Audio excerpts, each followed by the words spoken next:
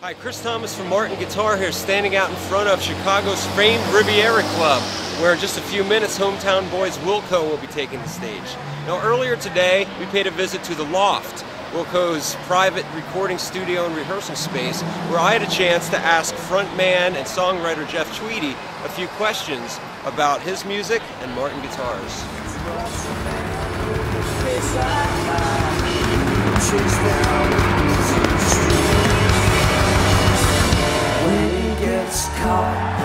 Won't get up and I won't go to sleep.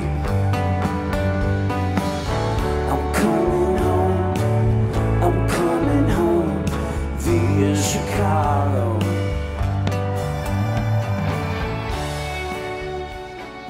I, I got a guitar when I was six I think, and I took a few lessons and I really hated it because it was in a steaming hot room upstairs above a department store in downtown Belleville, and uh, so I threw my guitar in the closet. But that didn't stop me from telling everyone in the world that I knew how to play the guitar. So uh, when I had an accident, a bicycle accident, when I was like 12, I was I was laid up for a summer and I figured, I looked in my closet and I saw there was a guitar in there. And I figured, oh, I might, maybe I should learn a few chords before someone calls me out on this. Right. so it's, it's, about, I guess, about 12 years. That'd be a shorter answer since I was 12 years old. Okay. Do you recall your first Martin? Yeah, I, I do. Um, I bought the first Martin that I ever had was uh, this little 018 and um, we were getting ready to make uh, Mermaid Avenue, the Mermaid Avenue record, uh, the first one, and uh, I think I'd just been to the archives um, to look at Woody Guthrie's lyrics. It's our Mermaid Avenue records, for people that don't know, is a record we did with Billy Bragg, or series of records where we took Woody Guthrie lyrics and put them to music. And I really didn't have any instruments from uh, the 30s from the time period or, or, earlier even you know anything that i felt like i mean i know woody lived into the 60s but for some reason i just felt like i wanted to have something that he could have possibly had in his hands when he was really thriving.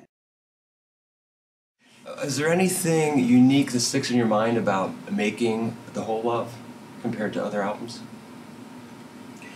um, well, The Whole Love is the first record that we were able to uh, complete. And you know, every step of the, the process was was up here at the loft, including mixing. Everything else is every other record has had a few little excursions into uh, another studio or a, a mixing studio. And, and um, outside of mastering, which you never really do in your own studio, uh, we were we did it all up here, and and and that feels really good. It feels good to finally um, have crossed that threshold where we know we can kind of get it all done in one spot.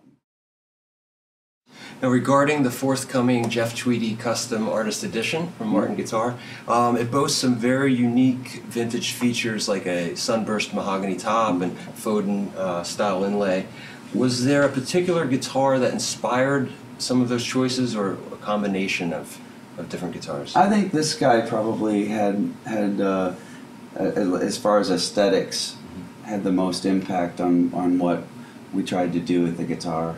Mm-hmm. Um, I always have always felt like this is a really romantic mm-hmm. looking instrument and kind of uncharacteristic of a lot of Martins that you see. It will be the first fully FSC uh, certified guitar, eco-friendly guitar that we've done with an artist. Um, how do you feel about that?